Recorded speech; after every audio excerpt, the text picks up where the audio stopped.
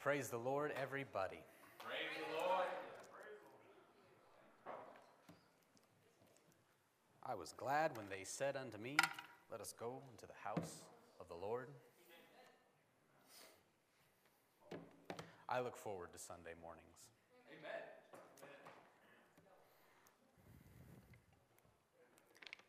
It's good to have you all here. Good to see every smiling face. Good to see every frowning one, too. We're going to see if we can change that this morning. Amen.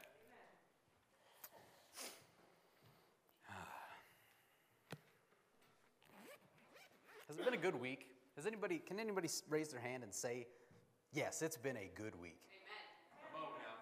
I've had a productive week. I've had a good week. Amen. I'm going to give God thanks for that. Right? All right. I don't have an opening scripture this morning. In fact, yeah, sin, right? In fact, I was joking with Pastor Mueller this morning and with Brother Chase. Thank you. For me. Uh, I was joking with them this morning how it's very, and, and many of you can attest to this too, it's very out of character for me to have, you know, less than 15 or 20 scriptures for a Sunday school lesson. I have three this morning. So,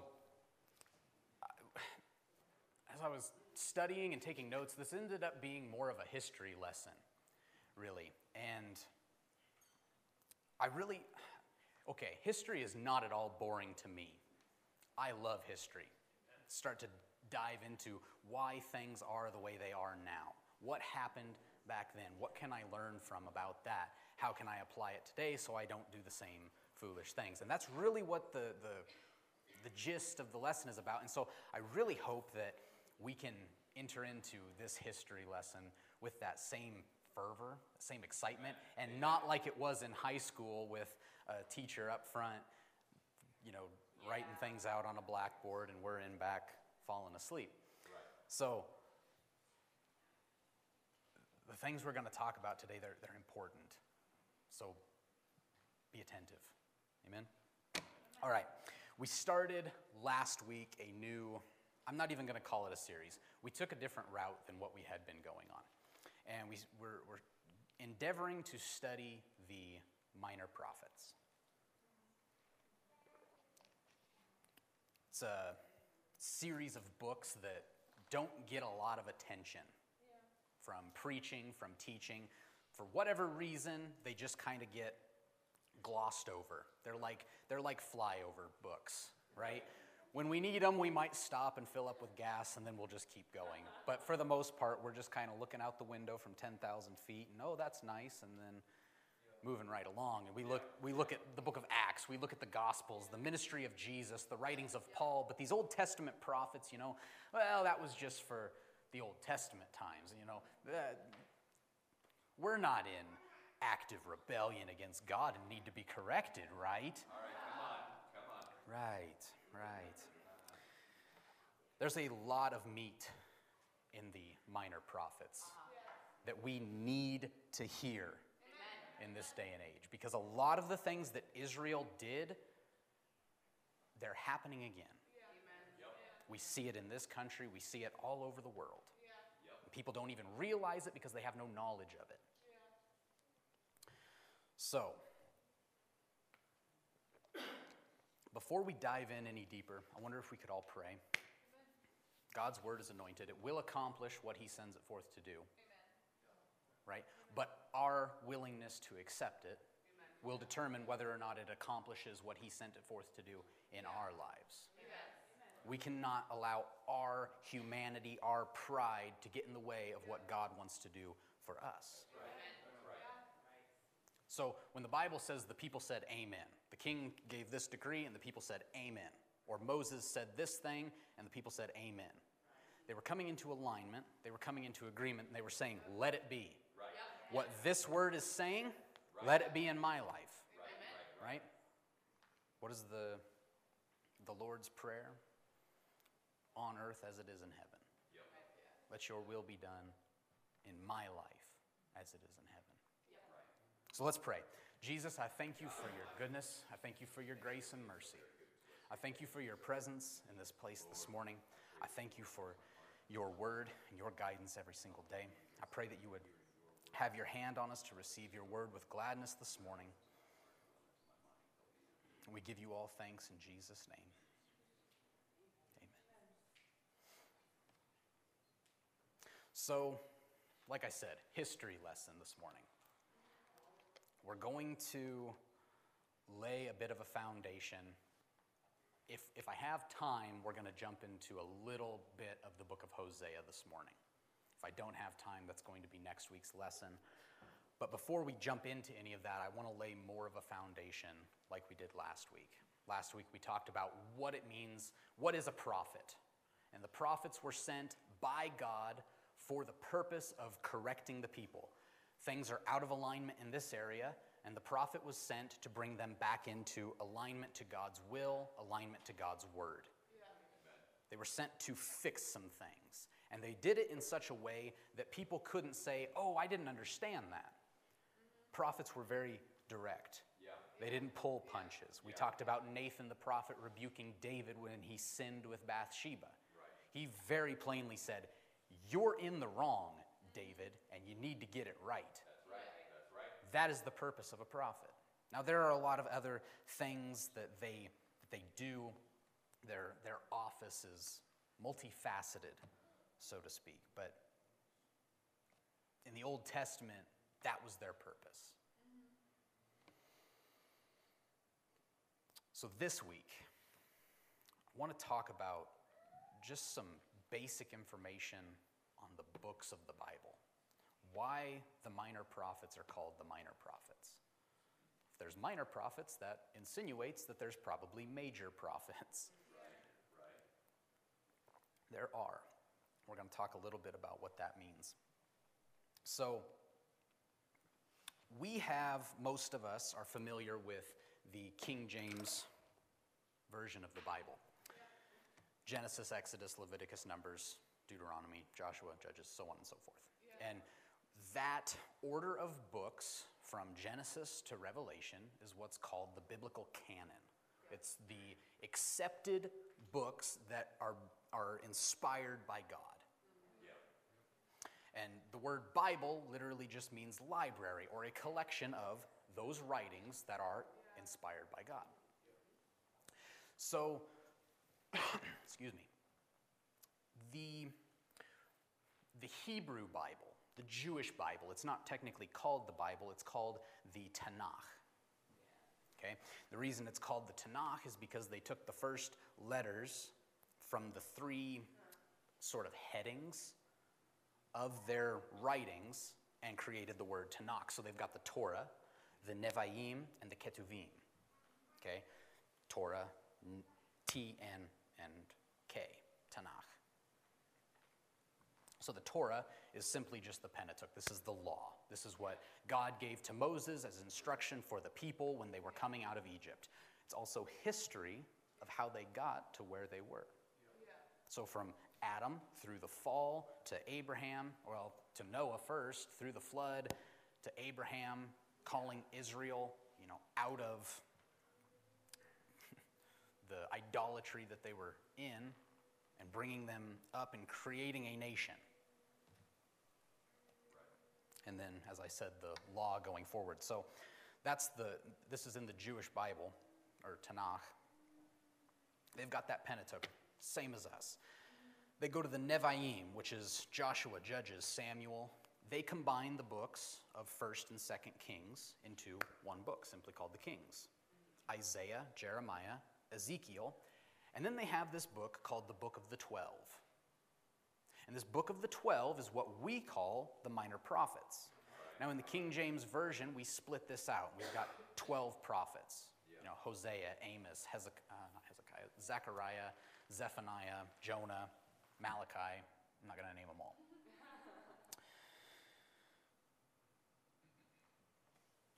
then, um, okay, where was I going?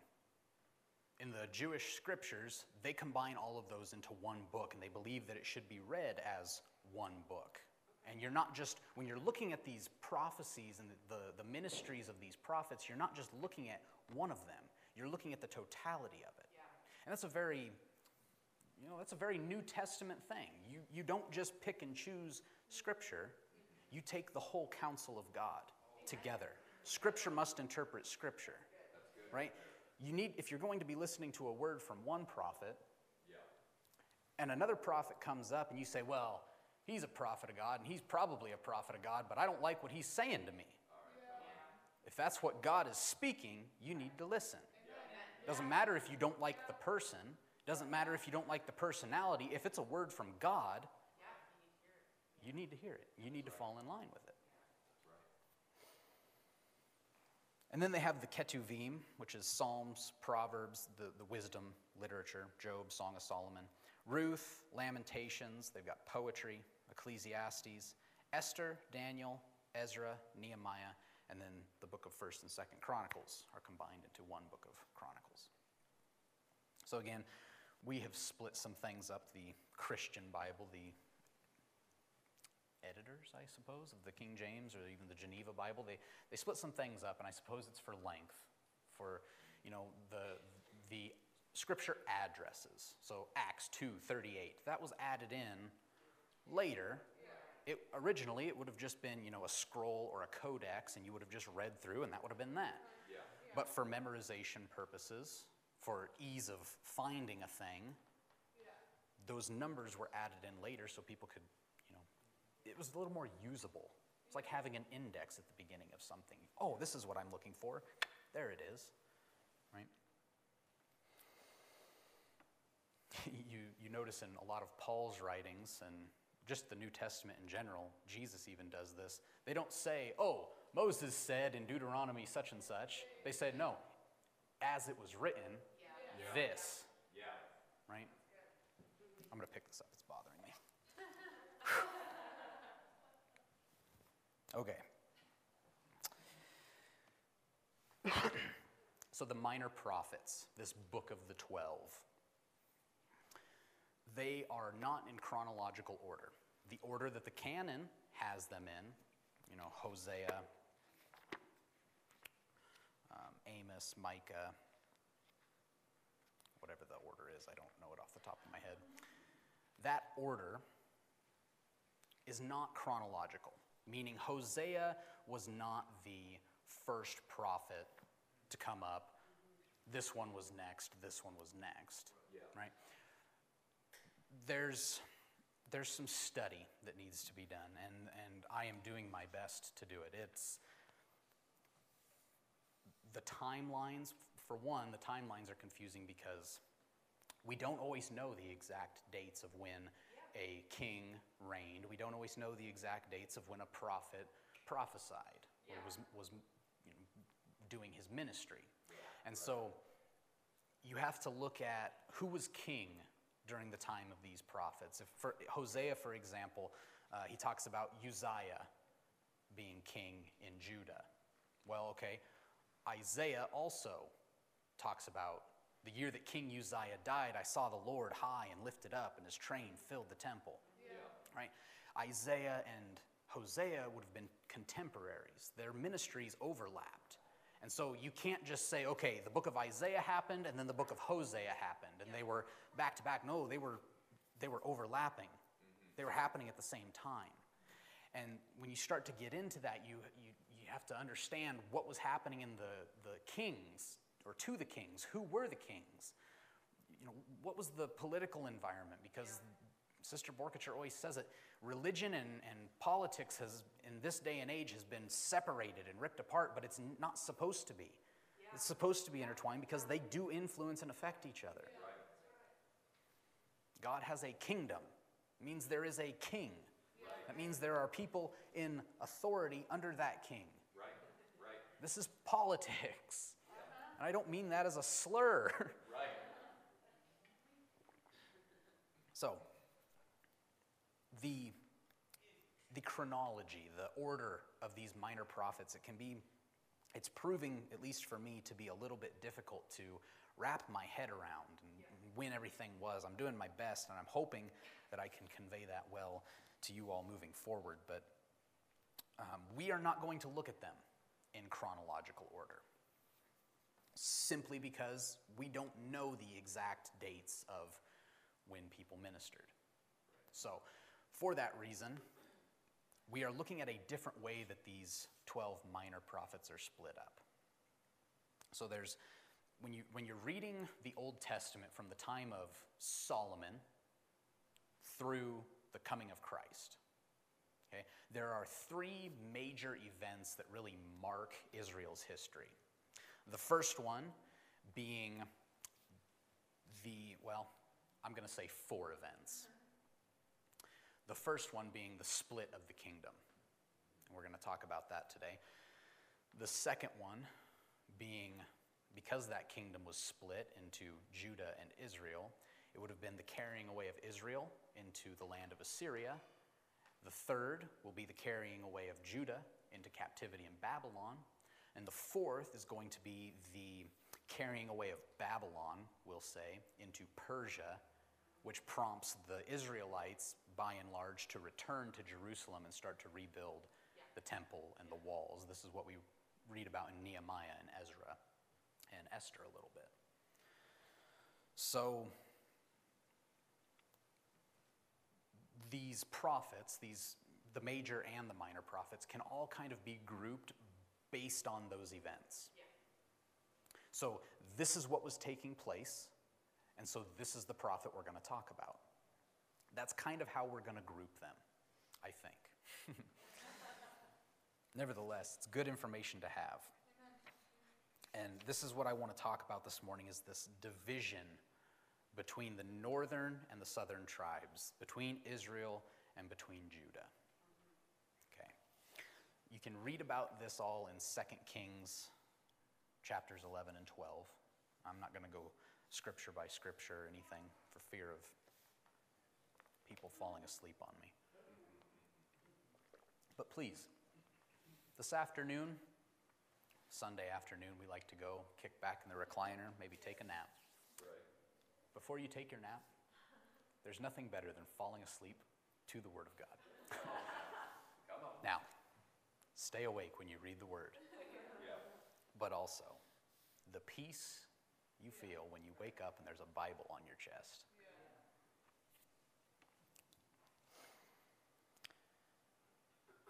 So 2 Kings 11 and 12. We had King Saul. Saul wasn't a very good king. We had King David. David had some problems, but he was a good king. And we had King Solomon, David's son. Solomon did some good things. He also, in his later years, turned from following after God. And because of this, God took the kingdom away from Solomon, or rather from his son Rehoboam. So there was a promise that God made to David saying that there will never cease to be someone from your bloodline sitting on the throne meaning someone in the throne, on the throne in Jerusalem. So, in order to continue to fulfill that word, because God is not a liar, God splits Israel, the kingdom of Israel. And you have the tribe of Judah, and you have, well, Judah and Benjamin follow after Rehoboam, Solomon's son. And then you have the other 10 tribes who say, we don't like that guy. Yeah. We don't like that personality. Yeah. We don't like what he's, you know, his campaign message, so to speak. Um. So we're just going to go over here, do our own thing, anoint our own king. So this is one of these. He's not a considered a minor prophet. I, I didn't touch on that. Minor prophets and major prophets, real quick, side trail, I apologize. Minor prophets are called minor prophets not because of their importance. Right, right, right, right. You've got Major League Baseball and Minor League Baseball, and you think Major League Baseball is the most important. Bless God. They're minor prophets because the length of their book, yep. the length of their prophecy, is not as long as the 60 chapters or plus of Isaiah. Right. It's simply the length of the book. Yeah. So Isaiah, Ezekiel, Jeremiah, they are major prophets because the, their prophecy, their, their length of their ministry, the writings that they produced are much larger than Jonah, which is four chapters, right? So that's, that's simply what major and minor, the, the distinguishing factor is. So there are still other prophets throughout Scripture. Nathan was one of them that we talked about last week. There's also a prophet, Ahijah, who we're going to talk about today. They're prophets just the same as the major or the minor prophets, but they don't have a book for themselves. Now, they are recorded in Scripture, most of them. Well, all of them that are recorded in Scripture are recorded in Scripture. there were others that we don't know about. Yeah. When Elisha was ministering, there was a whole college of prophets. Now, whether they were true or false, we're not going to get into that. So, the prophet Ahijah. We're, we're back to talking about Solomon and the kingdom being taken away from him and his son. We have this prophet Ahijah, and he, he asks a man named Jeroboam to come and meet him in the field. Jeroboam was a, a mighty man, he was one of the valiant men. And Solomon put him in place over the sons of jo- um, Joseph. And he was, he was an important guy. He was a leader. He was like a captain over an army sort of, sort of guy. And so he had some authority. He had some pull with Solomon. And Ahijah, this prophet, he takes Jeroboam aside. He, he has this new garment on, right? He takes his suit jacket off and he rips it down the middle. And then rips it again into 12 pieces. He takes 10 of those pieces and he gives them to Jeroboam. He says, This is to symbolize that God is taking the kingdom away from Solomon and giving a portion of it to you. This is one thing to keep in mind as we study the prophets. There is a lot of symbolism. There is a lot of things that happen in the physical that are indicators of what's happening spiritually. Yeah. Why is the kingdom being torn? You know, why is he tearing this garment? Because the kingdom is being torn. Why is the kingdom being torn? Because Solomon is in sin. Yeah. Yeah. That's a spiritual condition, Yeah. but it's also a physical one. Yeah. So he gives 10 pieces of this garment, meaning 10 tribes of the 12 of Israel. And he gives one or two, I, I, we'll say two, to, Jer- to Rehoboam, Solomon's son. This is the tribe of Judah and the tribe of Benjamin. So Jeroboam goes away. Solomon hears of this. He threatens to kill Jeroboam. Jeroboam flees. I would too.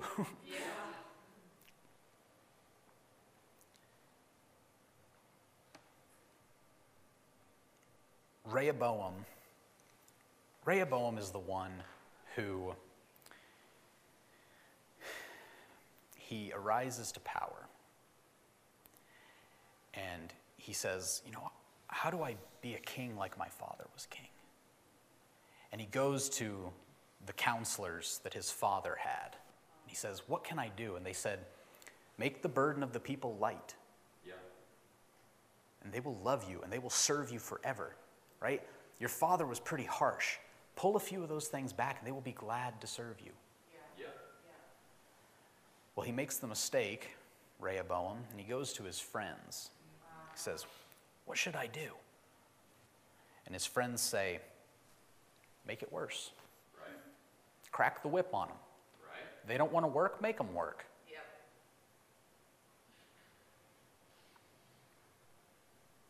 So that's what he does. And because of that, the people of Israel say, You're crazy. We are not, this is, this is just like Egypt. We're not going back to this. Yeah. Yeah. And so they follow after Jeroboam. Jeroboam says, Hey, I'm not going to do that to you. Well, Rehoboam gets mad and brings the tribes of Judah and Benjamin out to war against the tribes of Israel, Yeah. or the other 10 tribes, and God says, Sit down, you little child. so, this is the beginning of the split of the kingdom. You have Israel in the north, the kingdom of Israel in the north. The, the capital city is Samaria. And you have the kingdom of Judah in the south, the king or the capital being Jerusalem. You have the tribes of Judah and Benjamin, the, the genealogy and the kings following after David. And then you have Israel in the north, and you have these rebellion driven kings. And you see that you, when, you, when you read 1st and 2nd Kings and 1st and 2nd Chronicles, like I said before, it can be a little difficult to keep track of who you're reading about. Because it says, in such and such a year, when such and so and so was king in this place, this was happening in this place, and this was king, and then it goes on to tell about that king. And then you go back and it says, when that king that you were just reading about was king, this person was king over here, and this is what they did. And so take notes. If you, if, if, if the difference between Bible reading and Bible study is how much you write down. So if you want to study your Bible, start taking notes, Right. especially in First and Second Kings, First and Second Chronicles, because I get lost. I have to start writing it down. I have to refer to some timelines. I have to get it straight in my head. Right. I can build you a cabinet, no problem. But when it comes to keeping track of genealogies and things, I shoot from the hip. I'm pretty sure I remember that's in there somewhere.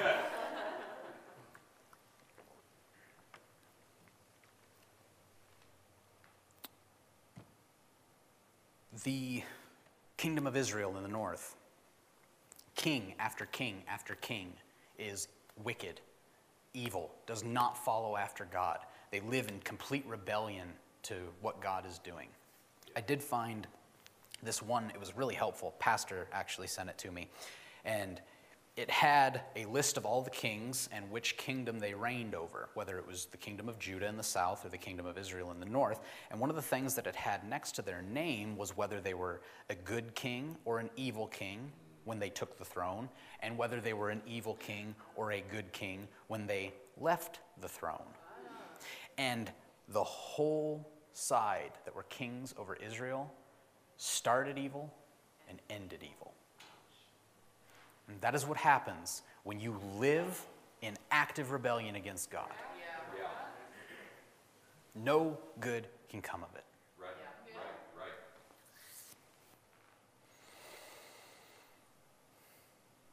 Jeroboam, he had this prophecy put over him that he was going to reign over the kingdom of Israel. But just because God said, I'm going to give this to you, doesn't mean that he did well with it. He was not a good steward of what God gave him. He could have led the people in the law of God, and they could have all turned their hearts to him, and it could have been great. But he didn't. And so it wasn't.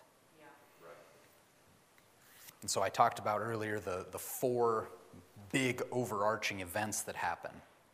The second one, after the split of the kingdom, was the fall of the northern kingdom of Israel into the hands of the nation of Assyria. This happened in roughly 722 BC for anybody who's interested in the dates. I was talking with Pastor Mueller. When we read about Israel going into captivity, a lot of us think of Babylon, the Babylonian captivity. Well, there was also the Assyrian captivity. You've got two kingdoms, you've got two nations that come into each of those kingdoms and take them over. But when Babylon comes into the kingdom of Judah, it's almost almost 200 years after Israel has already fallen to Assyria. Yeah. That's a long time. So, Israel falls the northern kingdom of Israel falls to the hands of Assyria. This is what we read about in, um, I believe it's Second Kings 17. Pretty sure it's Second Kings. Might be first. either way, it's chapter 17. You'll find it in one of the two. Uh, the king of Assyria, he, he attacks Israel and Samaria, and he brings all the people back to Assyria. Well, then he takes all of these other people that he has conquered and he brings them to Samaria. Yeah. And those people living in Samaria start to intermix with the people from the rest of the surrounding area, and that's where you get the Samaritan people. Right. So when the Jews return, they're at odds with them because they're not true Jews. Right. This is where we get the friction that we see in the New Testament or the gospel accounts. Hosea, I said we, were, we might talk about him. Uh, he was, his ministry took place right, right before the fall of the northern kingdom of Israel. And one of the things that I, it really surprised me. You know, you read through the Bible and you get a lot of good stuff, but then you read through it again and you get more good stuff. And then you read through it a third and a fourth and a fifth and a sixth, seventh, continuing on until you die. and you never fail to get good stuff, right? And you're like, how did I not read that the first 300 times? Right. Right. Where did I miss this? right? It's a living word. God reveals things to you according to, well, He knows what's best. And there are some things that if you had the knowledge of it, it might destroy you. And so He waits for the proper time to reveal things to you till you're mature enough to handle it. I don't put my daughter behind the wheel of my pickup and say, there you go. You'll need to figure this out someday. Do it now. Trial by fire. I sit her on my lap behind the wheel of my pickup, and we drive together, just in the driveway.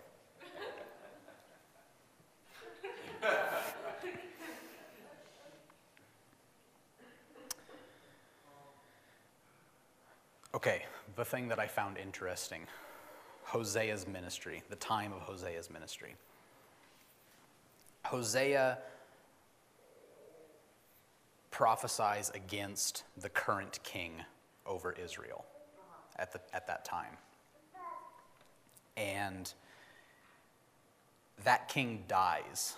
Somebody comes in and murders him and takes the throne for themselves. Shortly after that, another person comes up and kills that king Yeah. and takes the throne for himself. Yeah. Not too long after that, another king comes and kills that king and takes the throne for himself. Four kings in the span of one year. And that's something that I didn't realize when I was first reading through it. It's just one after another. A king is, or a, a guy is coming up and killing the king and taking the throne.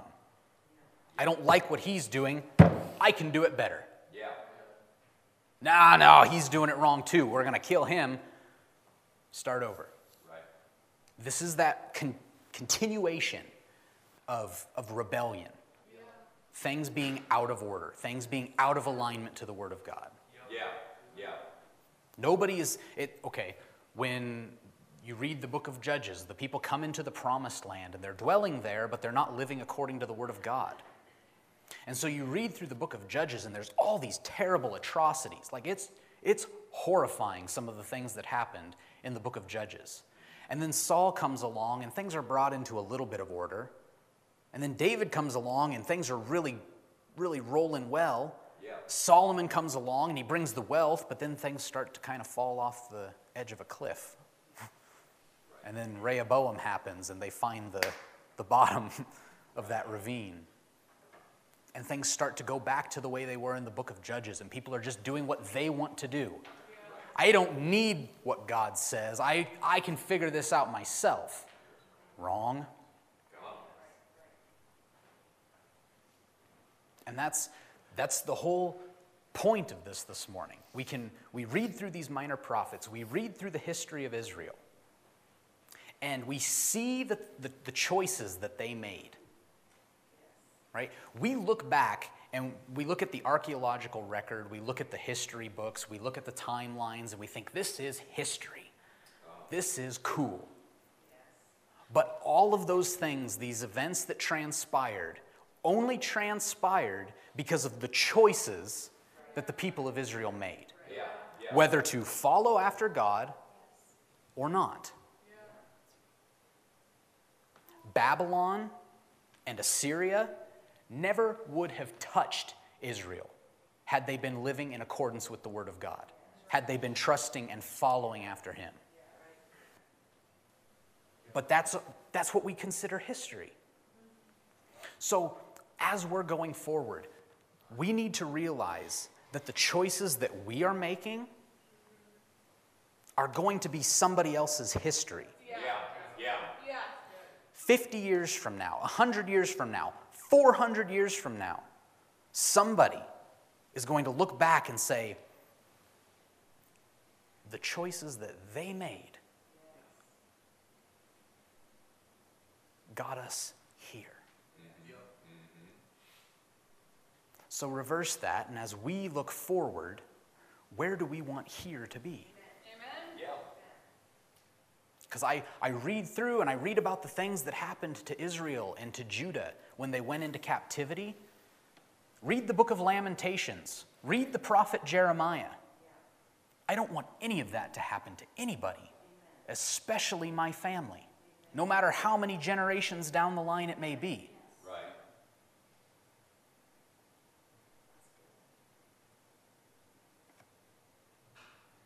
2 Timothy 3 16 and 17. I told you I had three scriptures, and you've all been waiting patiently for them. all scripture is given by inspiration of God and is profitable for doctrine, for reproof, for correction, for instruction in righteousness. Why? Verse 17. That the man of God or woman of God may be complete, thoroughly equipped for every good work. All scripture, Yes. not the prophet that we choose to listen to, Come on. not the king that we choose to listen to, Come on. not all scripture. Yeah. We don't live in the book of Acts alone. We bring in the Gospels. What does Jesus say? We bring in the New Testament writings of Paul and Peter and John. We bring in the history of the Old Testament and say, let's learn from this. Let's grow. Let's become better people. Let's do the will of God. Romans 15 and 4.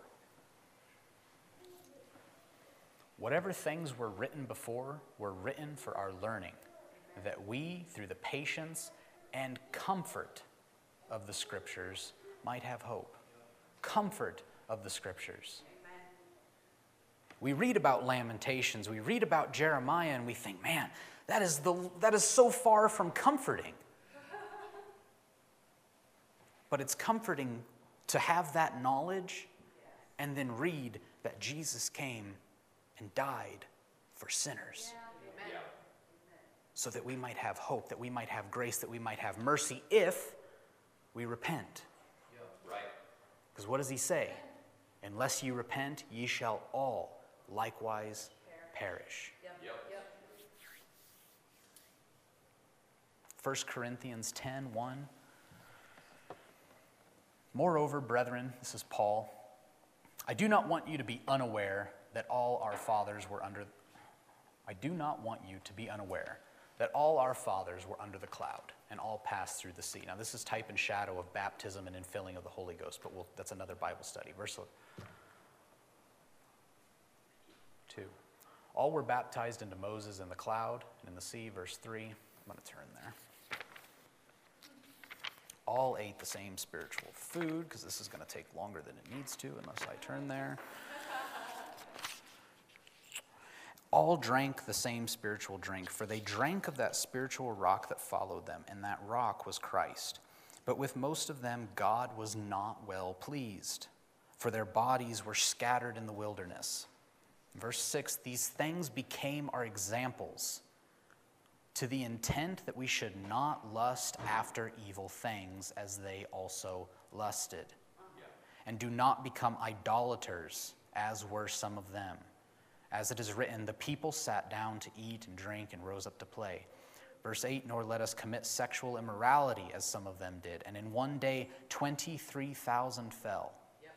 Nor let us tempt Christ, as some of them also tempted and were destroyed by serpents. Nor complain, as some of them also complained and were destroyed by the destroyer. All these things happened to them as examples, and they were written for our admonition, upon whom the ends of the age have come. And so, as we're studying these minor prophets, lest there's anybody who still holds to the idea that they're minor because they're not important, they're important. Everything that they have written is for good, for doctrine, for reproof, for correction, for instruction in righteousness. There's a lot of things. Paul wrote two epistles to Timothy. To Timothy, saying, Do this, do this, don't do this, fix this. Now, we could very easily say, Well, that was for Timothy. I'm not Timothy, that's not for me. But we don't do that. We take what Paul wrote to Timothy and say, Okay, that's good lesson to live by. Right. That's good instruction. Right. I can apply that. It's no different with the minor prophets. That's right. It is not written specifically to us, but it is. And we can still take it, we can still apply it, we can still learn from it, we can still live by it. We must. Yeah. So, as I suspected, I am out of time. we did touch a little bit on Hosea, but we are going to dive fully into Hosea next week.